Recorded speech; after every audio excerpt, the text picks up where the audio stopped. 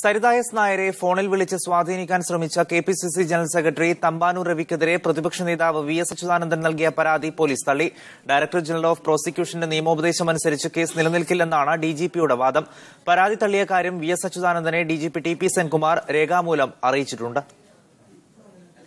തമ്പാനൂർ രവിയും സരിദാസ് നായരും തമ്മിലുള്ള ടെലിഫോൺ സംഭാഷണം പുറത്തു വന്നതിന് തൊട്ടു പിന്നാലെ വി എസ് ഡി ജി പിക്ക് പരാതി നൽകിയിരുന്നു. ടെലിഫോൺ സംഭാഷണം തെളിവായി സ്വീകരിച്ച് സരിതാ നായരെ സ്വാധീനിക്കാൻ ശ്രമിച്ചതിന് തമ്പാനൂർ രവിക്കെതിരെ കേസെടുക്കണമെന്നായിരുന്നു ആവശ്യം. വി എസിന്റെ പരാതി D G P director general of പ്രോസിക്യൂഷന് കൈമാറി. ടെലിഫോൺ സംഭാഷണം പരിശോധിച്ചതിന് ശേഷം കേസ് നിലനിൽക്കില്ലെന്ന നിയമോപദേശമാണ് director general of prosecution T Asaf Ali D G പിക്ക് നൽകിയത്.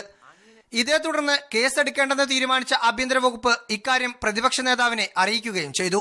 സോളാർ കമ്മീഷന് മുമ്പിൽ മുഖ്യമന്ത്രി മൊഴി നൽകിയതിനു ശേഷം തമ്പാനൂർ രവി സരിതയുമായി നടത്തുന്ന ടെലിഫോൺ സംഭാഷണമാണ് പുറത്തുവന്നത് ഉമ്മൻചാണ്ടി ജസ്റ്റിസ് ശിവരാജന് മുൻപാകെ നൽകിയ മൊഴി തന്നെ ആവർത്തിക്കണമെന്നായിരുന്നു തമ്പാനൂർ രവിയുടെ ആവശ്യം. കഴിഞ്ഞ ദിവസം പൊതുപ്രവർത്തകൻ പി കെ രാജീവ് തമ്പാനൂർ രവിക്കെതിരെ നൽകിയ പരാതിയും പോലീസ് തള്ളിയിരുന്നു. Media one Thiruvananthapuram.